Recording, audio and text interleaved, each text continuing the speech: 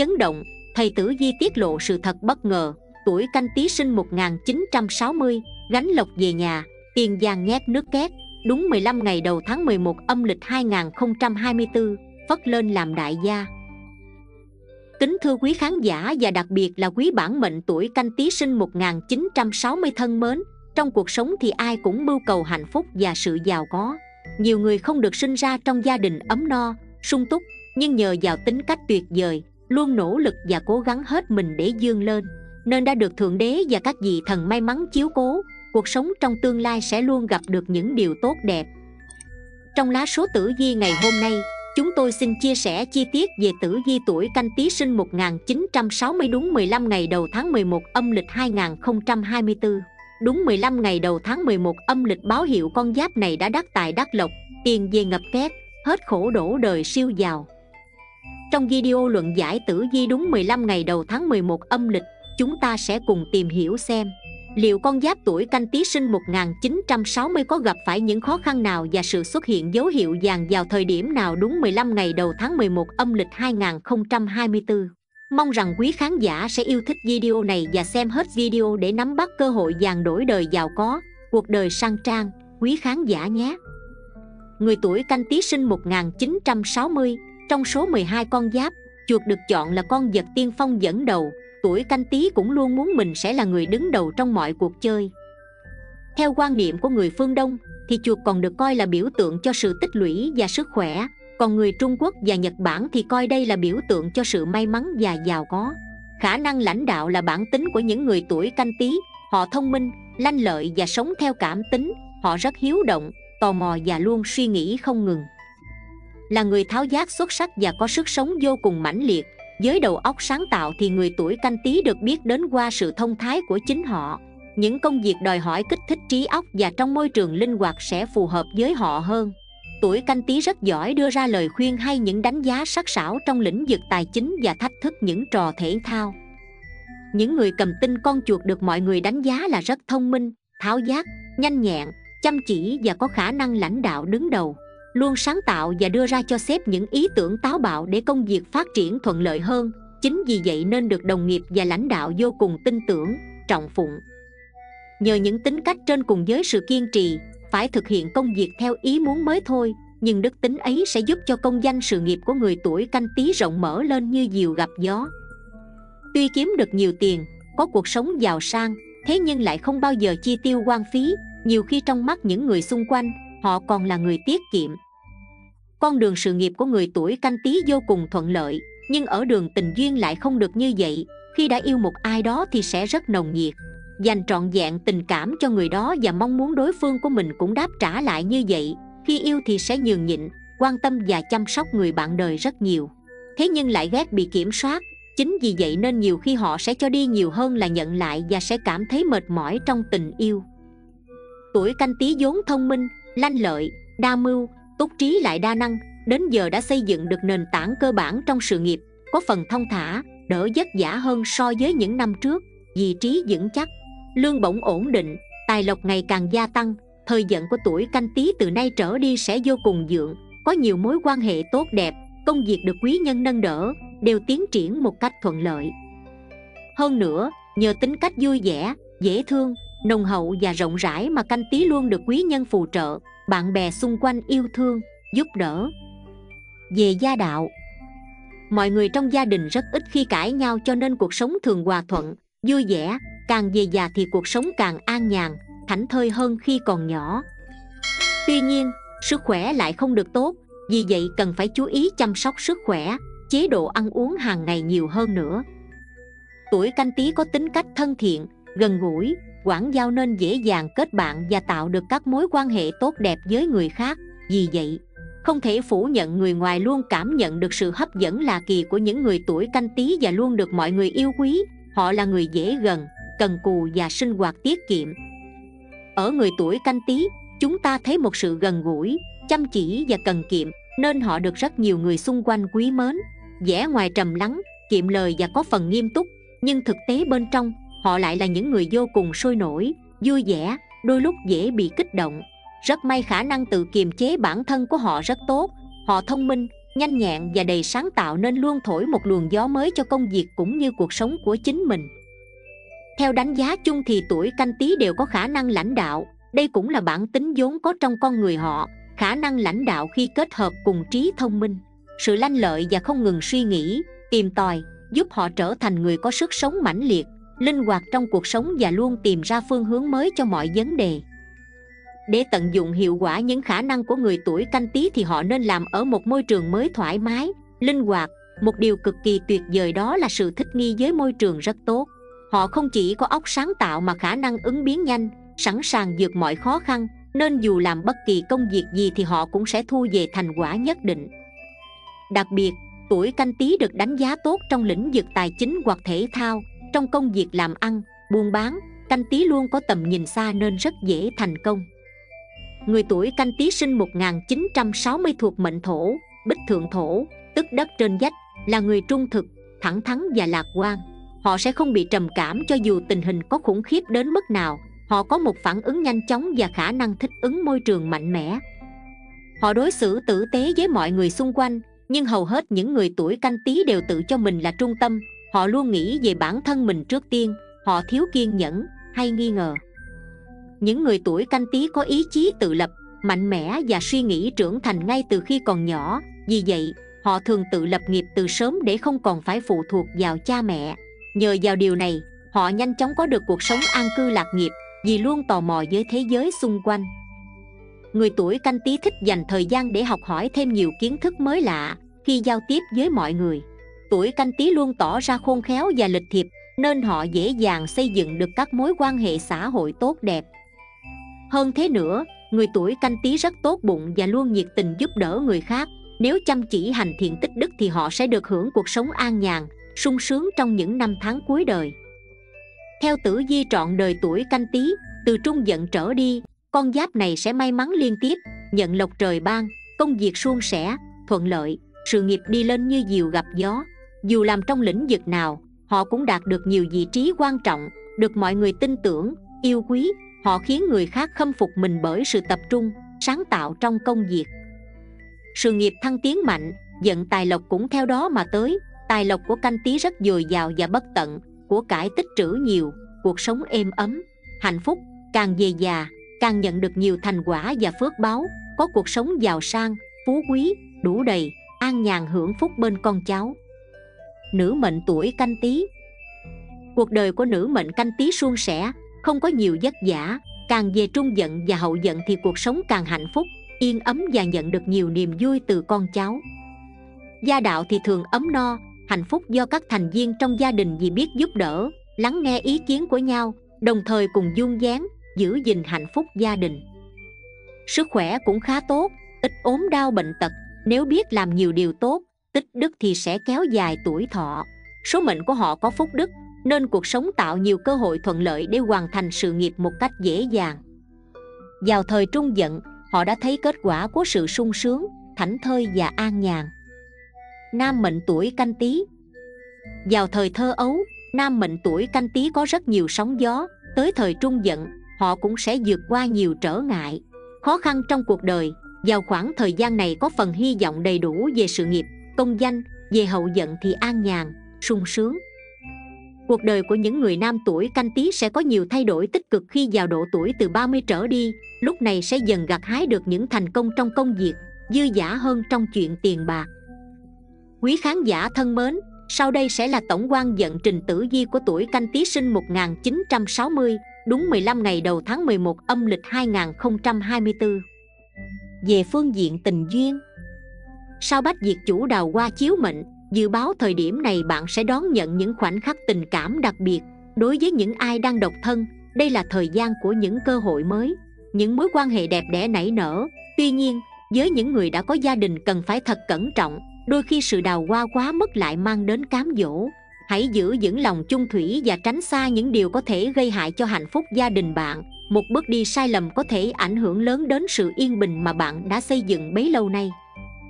Bước vào đúng 15 ngày đầu tháng 11 âm lịch của tuổi canh tí báo hiệu một thời điểm đầy thuận lợi và suôn sẻ trong sự nghiệp. Mọi công việc trong tầm kiểm soát của bạn, không còn những lo lắng bất ngờ. Sự khiêm nhường và cẩn trọng là điểm sáng nổi bật của bạn trong giai đoạn này. Bạn biết lắng nghe ý kiến từ những người xung quanh, không chỉ để hoàn thiện công việc mà còn để nâng cao chất lượng cuộc sống, xây dựng sự ổn định và cân bằng. Nguyệt lệnh trường sinh mang lại cho bạn sự bình an trong tâm hồn làm dịu lại mọi xáo trộn trong cuộc sống. Trái tim nhân hậu và hòa ái giúp bạn vượt qua mọi sóng gió mà không để lại tổn thương. Bạn đã học cách buông bỏ, không để những điều nhỏ nhặt làm phiền lòng. Thời gian này bạn trở nên điềm tĩnh hơn bao giờ hết, biết quản trị cảm xúc, giữ được sự lạc quan và tỉnh táo. Điều này giúp bạn tránh xa những suy nghĩ tiêu cực, giữ cho tâm hồn luôn nhẹ nhàng, từ đó tăng cường khả năng đối mặt với mọi thử thách trong cuộc sống thời điểm này cũng là thời điểm bạn có cơ hội nhìn lại những gì đã qua với một cái nhìn thấu đáo hơn. Những bất công hay hành xử không đúng từ người khác không còn làm bạn phiền lòng. Với tư duy tích cực, bạn trở nên sáng suốt hơn, biết cách xử lý mọi tình huống. Với sự khôn ngoan và bình tĩnh, điều này không chỉ giúp các quyết định liên quan đến công việc của bạn trở nên thuận lợi, mà còn mang lại sự thành công và kết quả tốt đẹp. Tiếp theo sau đây sẽ là phần luận giải dẫn trình tử vi chi tiết trên từng phương diện cuộc sống của tuổi canh tí sinh 1960, đúng 15 ngày đầu tháng 11 âm lịch 2024. Xét về phương diện công danh sự nghiệp của tuổi canh tí sinh 1960, đúng 15 ngày đầu tháng 11 âm lịch. Đúng 15 ngày đầu tháng 11 âm lịch, con giáp tuổi canh tí sẽ dành toàn bộ tâm huyết cho con đường sự nghiệp. Tuy nhiên, bạn cũng cần nhìn lại và nhận ra rằng, công việc không nên lấn át cả sức khỏe và tình cảm cá nhân. Bản mệnh có thể dễ dàng rơi vào trạng thái mất cân bằng nếu không biết phân bổ thời gian hợp lý giữa công việc và cuộc sống riêng. Hãy lắng nghe cơ thể mình, dành thời gian nghỉ ngơi và hãy nhớ rằng, cuộc sống là sự hòa hợp của nhiều yếu tố, không chỉ mỗi thành công trong sự nghiệp.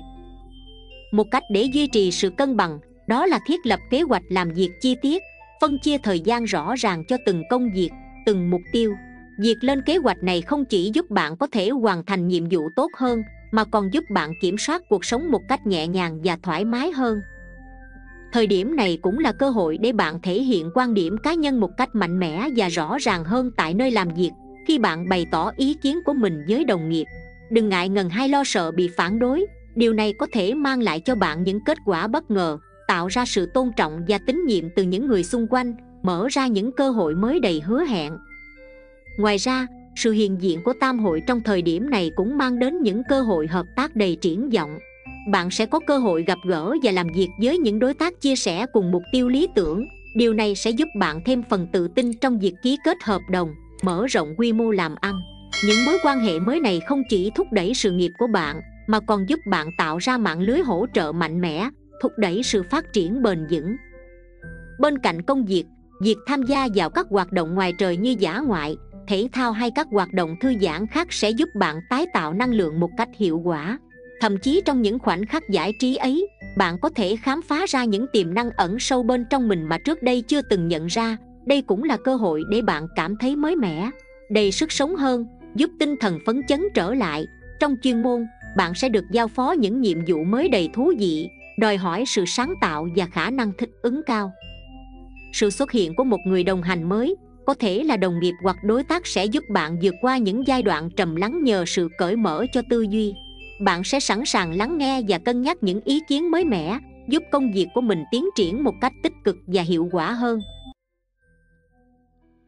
Xét về phương diện tài lộc của tuổi canh tí sinh 1960, đúng 15 ngày đầu tháng 11 âm lịch. Đúng 15 ngày đầu tháng 11 âm lịch, tài lộc của con giáp tuổi canh tí sẽ có nhiều điểm nhấn đáng chú ý. Đây là khoảng thời gian mà bạn sẽ tập trung nhiều vào việc lập kế hoạch tài chính cá nhân, đặc biệt là cho những dự án dài hạn mà bạn đã ấp ủ. Tuy nhiên, sự thận trọng trong quản lý tiền bạc là điều cần thiết. Vào lúc này, bạn cần ưu tiên việc tiết kiệm và đầu tư thay vì tiêu xài vào những thứ xa xỉ không thực sự cần thiết. Đây không chỉ là cách bảo vệ tài sản của mình mà còn giúp bạn xây dựng nền tảng tài chính vững chắc hơn trong tương lai. Mặc dù bạn đang tập trung vào việc tiết kiệm, nhưng thời điểm này cũng mang đến cho bạn nhiều cơ hội kiếm tiền mới. Điều quan trọng là đừng đánh giá thấp giá trị của bản thân, những kỹ năng, kiến thức và tài năng mà bạn đã tích lũy không nên bị lãng phí, thay vào đó, hãy tận dụng chúng để tạo ra thu nhập. Đừng coi việc mình giỏi ở một lĩnh vực nào đó là điều đương nhiên, mà hãy tìm cách khai thác nó để mang lại lợi ích tài chính sự xuất hiện của thực thần trong thời điểm này là một điểm lành cho tài lộc của bạn. Những buổi gặp gỡ dù là trong các tình huống bình thường như một bữa ăn, cũng có thể trở thành cơ hội để bạn nảy sinh những ý tưởng mới mẻ, mang tính chất ra tiền. Đây là thời điểm mà những ý tưởng đó có thể giúp bạn thực hiện các kế hoạch tài chính một cách hiệu quả. Thậm chí những người bạn cũ, người thân hay đồng nghiệp hiện tại cũng có thể trở thành đối tác làm ăn trong tương lai, nếu hai bên có cùng chí hướng tạo ra sự kết nối mạnh mẽ và đầy tiềm năng tuy vậy, việc thành công về tài lộc không chỉ đến từ các cơ hội bên ngoài, mà còn nằm ở khả năng quản lý và sử dụng tài sản của bạn. Bạn cần biết chọn lọc các cơ hội đầu tư một cách thông minh, không nên quá dội vàng trước những lời mời gọi hấp dẫn. Hãy để sự điềm tĩnh và sáng suốt dẫn lối, giúp bạn duy trì tài chính ổn định và vững vàng hơn. Cẩm nang dượng dẫn cho tuổi canh tý sinh 1960 đúng 15 ngày đầu tháng 11 âm lịch 2024 khẩu quyết, hãy tự lực, vì đó là cách để bạn trưởng thành nhanh nhất. Quý nhân là tuổi mùi và tuổi dậu. Tiểu nhân là tuổi thân và hợi. Màu sắc may mắn là màu tím và màu trắng. Xét về phương diện tình cảm, gia đạo của tuổi canh tý sinh 1960 đúng 15 ngày đầu tháng 11 âm lịch. Chuyện tình cảm của con giáp tuổi canh tý trong thời điểm này có nhiều cung bậc cảm xúc cần lưu ý đặc biệt khả năng quản lý cảm xúc sẽ đóng vai trò quan trọng trong việc duy trì sự hài hòa trong các mối quan hệ. Thời điểm này, bạn cần khéo léo hơn trong việc bộc lộ cảm xúc cá nhân, tránh để những cảm xúc bộc phát không kiểm soát, gây ra những hiểu lầm không đáng có. Hãy cân nhắc và thật cẩn trọng trước khi bày tỏ bất cứ điều gì, bởi những lời nói ra trong lúc thiếu tỉnh táo có thể làm rạn nứt mối quan hệ mà bạn đang dung đắp. Đáng chú ý thời điểm này còn mang đến một điểm báo tích cực liên quan đến con cái, nếu gia đình bạn đang mong chờ sự xuất hiện của một thành viên mới hoặc có kế hoạch sinh con. Đây là thời điểm vô cùng thuận lợi, tử di cho thấy, lộc con cái sẽ xuất hiện mang lại niềm vui và sự hạnh phúc cho những ai đang mong chờ tin vui trong việc sinh nở. Đây cũng là cơ hội để gia đình thêm phần khăng khích và gắn bó trong niềm vui đón chào thành viên mới. Tuy nhiên, không phải mọi chuyện trong tình duyên đều diễn ra suôn sẻ sẽ có những lúc cả hai người xảy ra những tranh cãi nhỏ nhặt, những mâu thuẫn từ sự khác biệt trong suy nghĩ và cảm nhận. Thay vì căng thẳng hay cố gắng tranh thắng thua, hãy sử dụng những lúc đó để suy ngẫm lại mong muốn thật sự của bản thân trong mối quan hệ này. Điều gì đang khiến bạn phiền lòng? Liệu bạn có đang quá khắc khe với đối phương hay không? Đôi khi, sự chia sẻ chân thành lại là chìa khóa giúp cả hai hiểu và cảm thông với nhau hơn việc duy trì một mối quan hệ yêu thương lâu dài không chỉ dựa vào tình cảm ban đầu, mà còn cần sự kiên nhẫn, thấu hiểu và đặc biệt là khả năng lắng nghe. Đừng cảm thấy mình phải luôn tỏ ra mạnh mẽ, bởi đôi khi việc chia sẻ những cảm xúc thật lòng sẽ làm đối phương thêm hiểu và quý trọng bạn hơn. Hãy tin rằng, sự đồng cảm và chia sẻ là điều cần thiết để giúp cả hai vượt qua những thử thách trong mối quan hệ, giúp tình yêu thêm bền chặt. Xét về phương diện sức khỏe của tuổi canh tí sinh 1960 Đúng 15 ngày đầu tháng 11 âm lịch. Sức khỏe của con giáp tuổi canh tí đúng 15 ngày đầu tháng 11 âm lịch này có những dấu hiệu không mấy khả quan Bạn có thể cảm nhận được cơ thể mình dễ bị khô khan từ họng, mũi cho đến làn da. Những triệu chứng này có thể làm bạn cảm thấy khó chịu, ảnh hưởng tới sinh hoạt hàng ngày. Vì vậy, việc bổ sung đủ nước cho cơ thể là vô cùng quan trọng đừng đợi đến khi cảm thấy khát mới uống, mà hãy tạo thói quen uống nước đều đặn để duy trì sự cân bằng và độ ẩm cho cơ thể. Thời tiết thay đổi cũng làm làn da trở nên khô rác hơn. Bạn cần chú ý đến việc dưỡng ẩm cho cả mặt và cơ thể. Sử dụng kem dưỡng ẩm thường xuyên không chỉ giúp da bạn mềm mại mà còn bảo vệ khỏi những tác động từ môi trường. Đừng quên rằng ngay cả trong những ngày dâm mát, việc sử dụng kem chống nắng vẫn rất cần thiết thói quen này sẽ giúp bạn bảo vệ làn ra khỏi tác hại của tia uv vốn vẫn tồn tại ngay cả khi trời không nắng gắt. Áp lực công việc có thể khiến bạn dễ dàng rơi vào trạng thái làm việc quá sức mà không hề nhận ra. Khi bạn tập trung cao độ vào công việc, có thể bạn khó có thể dứt ra. Điều này khiến cơ thể dần kiệt quệ mà tinh thần cũng trở nên mệt mỏi hơn. Hãy biết khi nào cần dừng lại để cho cơ thể và tinh thần có thời gian nghỉ ngơi. Tái tạo năng lượng đừng đợi đến khi cơ thể lên tiếng báo động mới nghĩ đến việc nghỉ ngơi, bởi kiệt sức sẽ gây hậu quả nghiêm trọng cho sức khỏe lâu dài.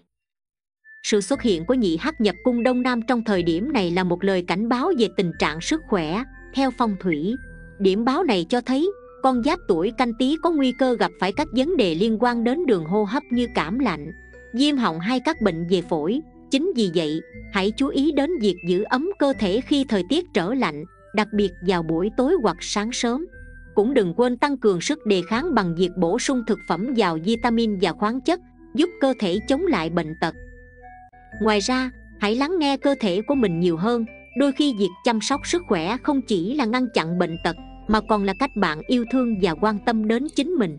Một chế độ ăn uống hợp lý, kết hợp với nghỉ ngơi đầy đủ và thư giãn tinh thần, sẽ giúp bạn vượt qua thời điểm này một cách khỏe mạnh và an toàn hơn quý khán giả thân mến, và tiếp theo chương trình sẽ là phần luận giải chi tiết những cơ hội và thay đổi đáng chú ý, cùng với cẩm nang dượng dẫn đúng 15 ngày đầu tháng 11 âm lịch 2024 của tuổi canh tí sinh 1960 Điều này sẽ giúp cho quý bản mệnh biết được thời điểm nào đúng 15 ngày đầu tháng 11 âm lịch sẽ xuất hiện cơ hội vàng. Đầu tiên là tử di tuần 1 trong tháng 11 âm lịch, của tuổi canh tí sinh 1960. Tuần này do chịu tác động của hung tinh ngũ quỷ, công việc trong tuần mới của người tuổi canh tí không được lý tưởng cho lắm. Với tính chất lặp đi lặp lại và thiếu động lực trầm trọng, canh tí bắt đầu có cảm giác chán môi trường làm việc hiện tại và muốn chuyển đổi để có cơ hội mới. Trong quá trình làm việc bản mệnh cũng gặp không ít khó khăn con giáp này không gặp vấn đề về chuyên môn trong công việc. Nhưng khi làm theo nhóm phải kết hợp với nhau thì lại có khúc mắc do mỗi người một ý không chịu lắng nghe ý kiến của tập thể tài lộc có phần giảm sút, khó tránh khỏi tình trạng hao tài tốn của. Có nhiều thời điểm trong tuần, bản mệnh được các tinh ứng cứu, mang tới nguồn thu nhập không hề tồi. Tuy nhiên các việc chi tiêu phát sinh quá nhiều, nên tiền vào tay rồi lại đi ngay, khó mà tích lũy được. Chuyện tình cảm cũng gây ra không ít muộn phiền cho tuổi canh tí. Người độc thân dù đã dành thời gian đi gặp gỡ nhiều đối tượng, nhưng chưa thực sự khiến bản mệnh rung động. Tổn thương trong quá khứ vẫn hằn sâu trong tâm trí khiến bạn khó mở lòng với người khác. Quý nhân là tuổi thân và tuổi hợi. Tiểu nhân là tuổi mão và tuổi dậu. Màu sắc may mắn là màu đen và màu xanh da trời. Con số may mắn là 68, 70, 22 và 41 Tiếp theo là tử vi tuần 2 trong tháng 11 âm lịch của tuổi canh tí sinh 1960 Tử vi tuần mới của 12 con giáp cho biết Tuần này người tuổi canh tí có sự chủ động hơn nên vận trình cũng có đôi chút chuyển biến Tuy chưa thực sự đột phá nhưng cũng là tín hiệu đáng mừng. Nhìn chung, canh tí đang cố gắng thoát khỏi dùng an toàn của chính mình và ra sức thử nghiệm nhiều vai trò mới trong tập thể. Nhiều người xung quanh đều có thể cảm nhận rõ ràng Canh tí đang dần rũ bỏ hình tượng cứng nhắc của mình để trở nên năng động, hoạt bát và sáng tạo hơn. Đây được xem là sự thay đổi lớn nhất mà bạn có được trong khoảng thời gian này. Nếu canh tí có thể duy trì tinh thần lạc quan như hiện tại Bạn sẽ sớm đón nhận được nhiều tin vui. Tuy nhiên, tiểu hao cảnh báo nguy cơ mất tiền trong tuần này bản mệnh vẫn nên thận trọng hơn trong việc kinh doanh. Chi tiêu thời gian này không thích hợp để dồn quá nhiều tiền vào một dự án mạo hiểm các việc liên quan tới giấy tờ sổ sách cũng nên rạch ròi. Phương diện tình cảm có chút ảm đạm khi không có dấu hiệu nào cho thấy có cơ hội thăng hoa thậm chí các cặp đôi liên tiếp xích mích mâu thuẫn và cảm thấy thất vọng về nhau. Sự bất mãn này đã có từ lâu chẳng qua là được dịp này thì bùng phát dữ dội mà thôi. Quý nhân là tuổi sửu và tuổi hợi. Tiểu nhân là tuổi tuất và tuổi ngọ. Màu sắc may mắn là màu xanh dương và màu trắng. Con số may mắn là 99, 80, 64 và 21 Quý khán giả thân mến, các vật phẩm phong thủy không chỉ là những món đồ trang trí mà còn mang trong mình những ý nghĩa tinh thần sâu sắc. Chúng được lựa chọn dựa trên nguyên tắc của ngũ hành và sự tương tác của năng lượng trong tự nhiên, để tạo ra sự cân bằng và hỗ trợ cho cuộc sống của chúng ta mặt khác vật phẩm phong thủy là những món đồ tinh thần mang lại sự hỗ trợ và động viên trong mọi khía cạnh của cuộc sống là biểu tượng của niềm tin hy vọng luôn đồng hành cùng chúng ta trên hành trình phát triển và thành công dưới đây là gợi ý các vật phẩm phong thủy từ kênh Minh Đường Tử Di mà bản mệnh tuổi canh tí sinh 1960 có thể cân nhắc để mang về bình an và giải trừ dần hạn cho bản mệnh. Tượng thiềm thư phong thủy. Thiềm thư là biểu tượng của tài lộc và yên lành, là vật phẩm may mắn trong công việc làm ăn, sự bình an cho gia chủ tuổi canh tí sinh 1960 nên mọi người thường hay dùng để biến xấu thành tốt trong phong thủy nhà cửa hoặc để tặng bà con bạn bè thân hữu khi có dịp. Tượng tỳ hưu phong thủy. Tỳ hưu còn có tác dụng trấn nhà để tránh tà khí. Ta đặt tỳ hưu ở các hướng tốt trong nhà như sanh khí, thiên y diên niên, phục dị, nhất là hướng sinh khí. Thì tỳ hưu có thể làm cho vận mệnh các thành viên trong gia đình tuổi canh tí sinh 1960 chuyển biến tốt, vận mệnh tốt, được nâng cao, đuổi tà khí đi và có tác dụng trấn nhà. Vì vậy tỳ hưu đã trở thành thần bảo vệ cho gia đình, bảo vệ sự bình yên cho ngôi nhà của người tuổi canh tí sinh 1960 tượng chuột phong thủy. Hình ảnh con chuột nằm trên đống tiền hoặc là các thỏi vàng chuột ngậm đồng tiền, chính là biểu tượng cầu mong nhận được nhiều phúc lộc tài. Mong muốn tài lộc luôn dồi dào, cuộc sống đầy đủ và dư giả hơn cho người tuổi canh tí sinh 1960 hơn thế nữa, nó còn có ngụ ý tài lộc sẽ không ngừng gia tăng tăng cao hơn, phát đạt hơn. Do đó, nhiều người thường đặt tượng chuột vào huyệt tài lộc ở trong nhà để cầu mong gia đình mình luôn tấn tài, tấn lộc. Tượng rồng phong thủy là con vật đứng đầu trong các loài thú lành, nên ngoài việc quá sát, rồng còn tăng cường phát huy quyền lực. Người có chức vụ cao dùng nó có hiệu quả càng lớn. Ngoài ra, rất phù hợp cho người tuổi canh tí sinh 1960 làm việc hành chính hoặc hoạt động chính trị giúp chống lại những lời dèm pha và tăng cường quyền uy. Tượng khỉ phong thủy. Theo truyền thuyết đời xưa, khi có một sức lực mạnh mẽ, trí não thông minh và lòng nhân từ của nó chưa chắc con người đã bị kiệt. Ngoài ra thì còn được coi là con vật may mắn, từ hầu có nghĩa là con khỉ đồng âm với từ hầu, một tước vị quyền quý, bởi vậy, trong nhiều tranh vẽ tượng khỉ thì hình tượng con khỉ mang ý nghĩa là phong hầu, phong chức tước cho người tuổi canh tí sinh 1960 tượng cá chép phong thủy. Cá chép cũng là một biểu tượng của may mắn, còn cá chép có biểu tượng của lòng dũng cảm, vô song trong truyền thuyết.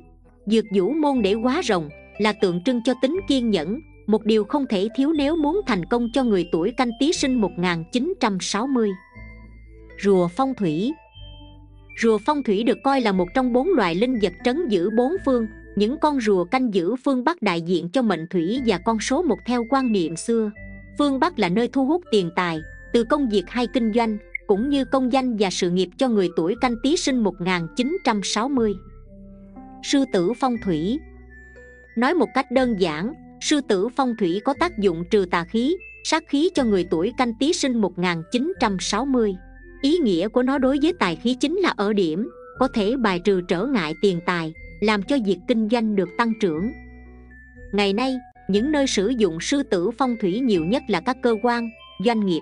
Người tuổi canh tí sinh 1960 đặt một đôi sư tử ngay trước cổng lớn, để có thể bài trừ vô số các trở ngại gây ra cho công việc. Quý khán giả thân mến, trong cuộc đời có 6 lời nói gây quả báo nhãn tiền, càng ít nói càng tốt, bởi theo lời phật dạy, đó là những lời nói gieo trồng ác nhân tạo ra ác quả, khiến bạn hao tổn hết sạch phước đức, nhất là lời thứ sáu, trong đó cùng xem bạn có lỡ phạm sai điều gì không để mau chóng sửa đổi nhé. Trong cuộc sống hàng ngày, liệu bạn có phải là người thận trọng trong ngôn từ, hành động, muốn duy trì mối quan hệ tốt đẹp giữa người với người? Điều quan trọng nhất là không thể hành sự tùy ý. Không được nói lời tùy tiện, có những lời nên nói, nhưng cũng có những lời tuyệt đối tránh, bởi nói hay thì như áo gấm theo thêm qua, nói dở thì như tuyết lạnh thêm sương. Con người chỉ cần 2 năm để học nói nhưng lại cần tới vài chục năm để biết cách ứng xử. Theo lời phật dạy, có những lời chỉ cần không nói ra sẽ giúp con người chúng ta tích thêm phúc đức. Ngược lại, nói ra sẽ khiến ta tạo khẩu nghiệp, mất đi phúc đức, thậm chí có thể lập tức gây ra tai họa cho bản thân người nói. Nhân sinh cảm ngộ. Lời phật dạy về khẩu nghiệp, lời nói gây khẩu nghiệp là một loại tội lỗi mà một người bình thường dễ dàng dấp phải nhất chính vì thế mà người xưa mới có câu, uống lưỡi bảy lần trước khi nói hai họa từ miệng mà ra, số mệnh của một người tốt hay không? Xem người đó có nhiều khẩu nghiệp hay không là biết. Vì vậy, tránh dướng khẩu nghiệp đối với sinh mệnh mỗi người rất quan trọng. Phật dạy rằng, chỉ cần bạn cố gắng tránh nói sáu lời nói gây quả báo nhãn tiền dưới đây, phúc báo cũng sẽ không bị hao tổn, cuộc sống thanh thản, an yên, tu trí làm ăn. Tránh lời nói vô căn cứ, lời dối trá những lời vô căn cứ, không có thông tin xác đáng, đều là lời nói sằng bậy, dối trá. Đây được coi là một trong những lời nói gây quả báo nhãn tiền. Làm tổn hao phúc báo mà đức phật khuyên chúng sinh cần tuyệt đối tránh, nếu lỡ phạm phải cũng phải mau chóng sửa đổi, hạn chế tiếp tục nói dối để tránh khởi nghiệp ngày càng sâu. Nói dối cũng là một trong năm đều thuộc ngũ giới của đạo phật, bao gồm không sát sinh, không trộm cắp, không tà dâm, không nói dối, không uống rượu nói lời chân thực là diệt thiện hàng đầu, nói lời dối trá là diệt ác hàng đầu.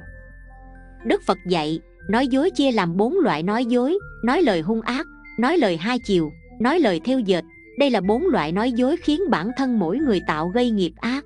Chính những cách nói này là tội ác mà người nói khiến cho những người xung quanh bị hại hay xa lánh. Vì thế, cần phải tránh xa, cho dù lời nói dối đó không có ác ý mà chỉ nhằm mục đích đùa vui, thì cũng gây ra hiệu quả không tốt bởi những lời đó khiến chủ nhân lời nói quen với thói xấu ấy, cũng làm mọi người xung quanh không tin vào lời nói của họ nữa, kể cả khi họ nói thật. Khi đó, người này sẽ bị xếp vào hạng người lừa lọc, thiếu đạo đức, hay có những người gì hám danh, thích địa vị nên cứ khoe khoang.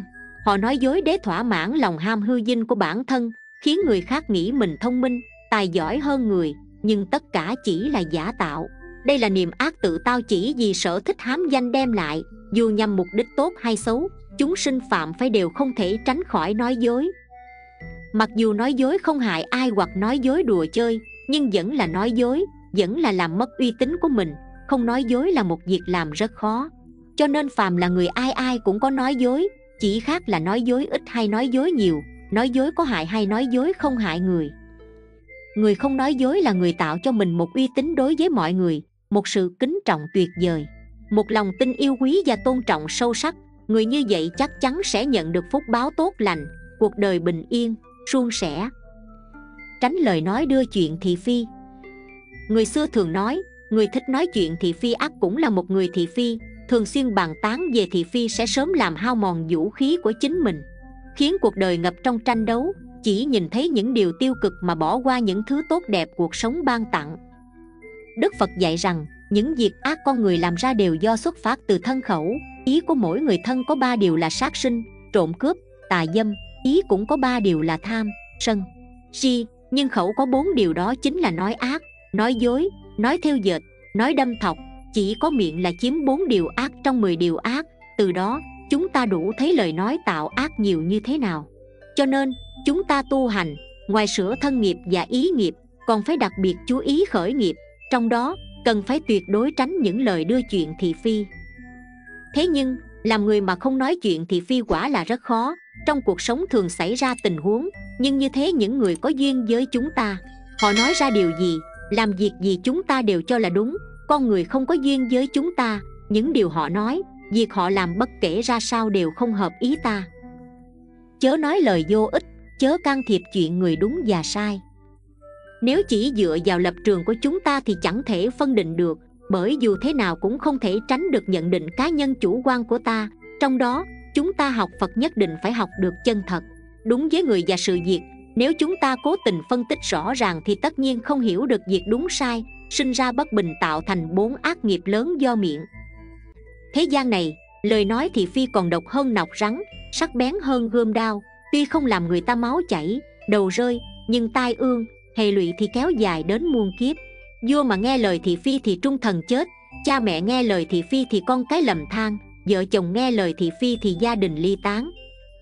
Theo lời phật dạy về thị phi, muốn giữ được phúc đức, muốn nhận phúc báo thì phải học cách cảnh tỉnh bản thân. Chớ nên theo sự tốt xấu của mình mà luận bàn, hay giờ chúng ta cho việc đó là tốt nhưng chưa chắc là tốt. Thật sự bởi vì chúng ta vẫn còn phàm phu, đứng ở lập trường không giống nhau, nhân duyên tiếp xúc cũng khác nhau cho nên có lúc chúng ta cho là tốt nhưng chưa chắc là tốt. Thật sự có thể nhân duyên của chúng ta không tốt bằng người kia. Rõ ràng họ nói là việc tốt, chúng ta lại cho nó thành việc xấu. Như thế cũng không đúng.